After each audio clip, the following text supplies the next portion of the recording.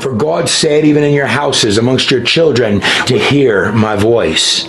There is a fresh flow in the Spirit coming. That's what's coming. I am looking for people that will rise up. It is coming from an open heaven. It is coming from an open tomb. It is coming, it is coming, it is coming. God says a divine acceleration is taking place throughout this nation. Someone was weeping and crying. They say, Look at what has happened to the House and look at what has happened to the Senate.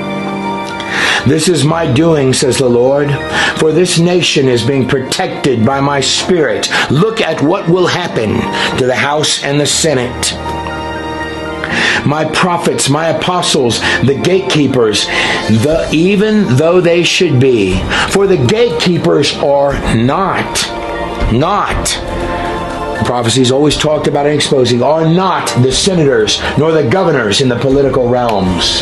God says there will be a special breakthrough in this nation over the year of that Christmas season. That's when I'm reading it to you. They shall say, Why has God chosen this time? For it is a paganistic time. That's what's in the prophecies. Why has God chosen this time? It is a pagan time. No, God said, it is because my name has been spoken out. I will take the glory and I will show up and I will show off and I will take all the credit, says the Lord God, in whatever Christmas of this year it's talking about. And the year it's talking about, it's going to get more specific. It's going to get good.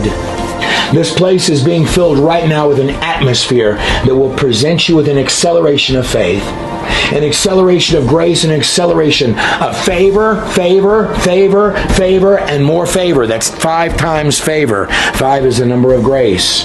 The Spirit of God said favor like you have never seen. For even as Jesus stood outside Capernaum and the disciples returned and said, Even the demons are subject to us, he said, I saw Satan fall like lightning from heaven.